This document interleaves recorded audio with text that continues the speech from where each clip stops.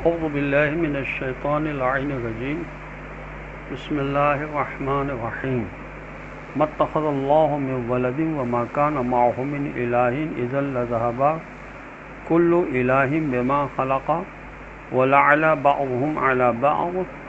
سبحان الله عما يصفون اللهم صل على محمد وآل محمد وجل فرجهم سلام علیکم ورحمۃ اللہ وبرکاتہ۔ اللہ تبارک و تعالیٰ کا شکر ہے کہ سورہ مومنون، جو قرآن مجید کا 23 نمبر کا سورہ ہے، اس کی آیت نمبر 91 کی تلاوت کا شرف میں نے حاصل کیا۔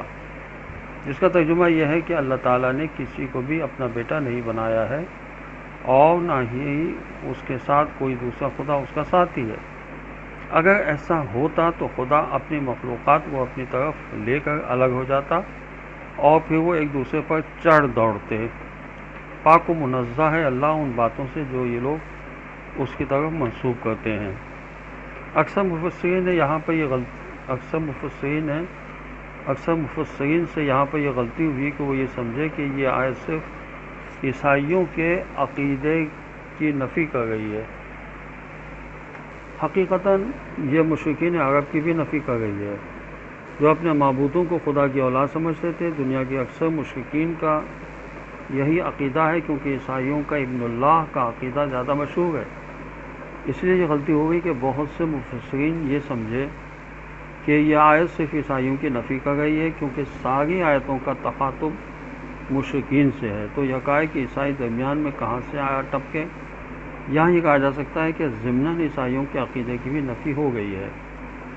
آیت کا مطلب یہ ہے کہ یہ بات کسی طرح ممکن نہیں تھی کہ کائنات کے مختلف حصوں اور طاقتوں کے مختلف خالق و مالک ہوتے، ان میں مکمل تا، مکمل تعاون بھی ہوتا ہے۔ یہ ساری کائنات کے نظام کی باقاعدگی اور اجزاء نظام کی ہم آہنگی کائنات کی مرکزیت اور وحدت کا منہ بولتا ثبوت ہے۔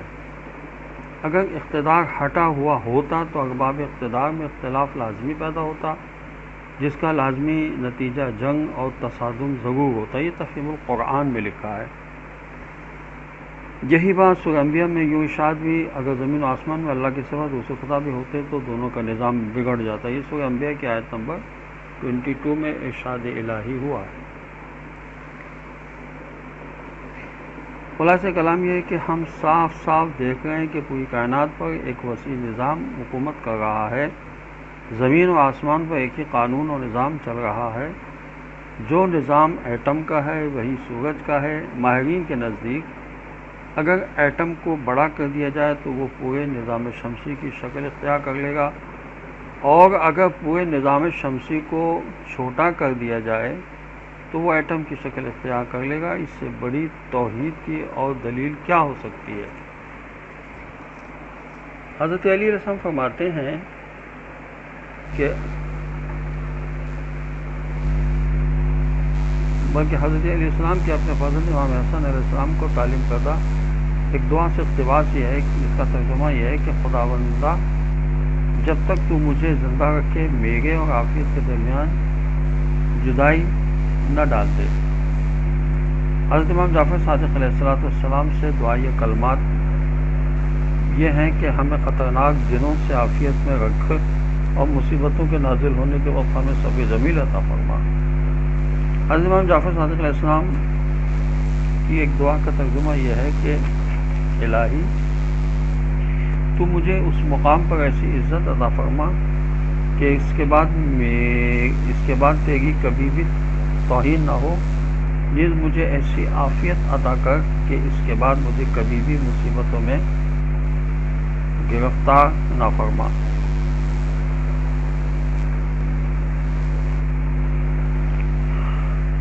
حضرت رسول خدا صلی اللہ علیہ وسلم دعا مانگتے تھے تو وہ کہتے، اللہ میں تجھ سے پوری پوری عافیت کی درخواست کرتا ہوں کہ فرمایا پوری پوری عافیت جنت میں داخل ہونے کی کامیابی اور جہنم کی نجات ہے۔ حضرت امام جعفر صادق علیہ السلاۃ والسلام فرماتے ہیں کہ حضرت ابوذا کی دعا جو آسمانوں میں مشہور ہے، یہ کہ یا اللہ میں تجھ سے تیری ذات پر ایمان لانے دیکھیں پیغمبر کی تصدیق کرنے، تمام بندوں سے عافیت میں رہنے اور عافیت کا شکر ادا کرنے اور برے و بدترین لوگوں سے بے نیاز رہنے کی درخواست کرتا ہوں۔ السلام علیکم ورحمۃ اللہ وبرکاتہ۔